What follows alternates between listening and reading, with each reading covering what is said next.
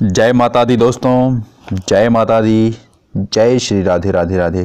दोस्तों, आज हम बात करेंगे तुला राशि की और ध्यान से सुनिएगा, क्योंकि यह राशि में जो आज शनि का जो प्रवेश हुआ है और इससे क्या होने वाला है, इसको आप ध्यान से सुनिएगा। तुला राशि के जितने भी जातक हैं, सभी लोग कुछ करना चाहते हैं, कुछ बनना चाहते हैं अपने लाइफ में, लेकिन उनकी राशि में कुछ उदय न होने के कारण, भाग्य थोड़ी खराब होने के कारण वे परेशान रहते हैं तो चलिए हम आज देख लेते हैं बिना कोई देरी किए हुए कि क्या कहता है उनकी भाग्य राशि और क्या है उनके लिए शुभ। यह आपके लिए मिश्रित फल दान प्रदान करने वाला यह जो है राशि और अवस्था है।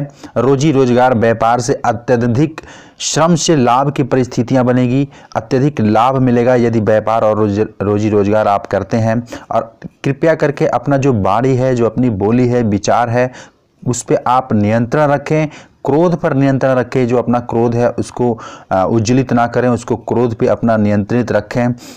रचनात्मक कार्य में प्रगति, रुझान बढ़ेगा। रचनात्मक कार्य के प्रति रुझान बढ़ेगा, आपका विश्वास बढ़ेगा, आपका मनोबल जो है वो बढ़ेगा।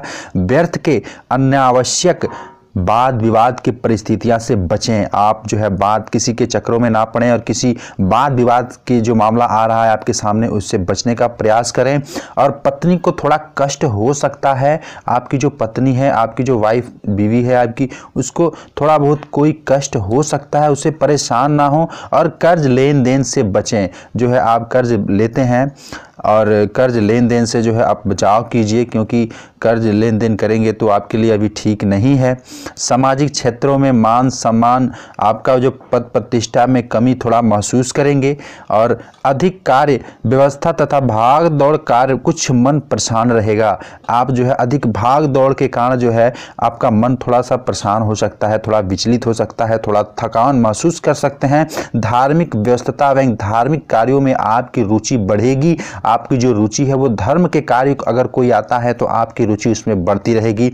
और कमी, बुद्धि, भ्रम आदि समस्याओं का सामना आपको करना पड़ सकता है। जो है, थोड़ा बहुत समस्या तो हर किसी के पास होता है, उससे आपको सामना करना पड़ सकता है। आपकी राशि यही कहती है, किसी प्रिय मित्र से आपको जो है धोखा मिल सकता है, किसी अनजान या किसी दूसरे व्यक्ति से नहीं, आपका कोई अपना ही आपको धोखा दे सकता है। इस बात को आप अच्छी तरीके से समझ लें कि आपका कोई प्रिय मित्र ही आपको धोखा दे सकता है।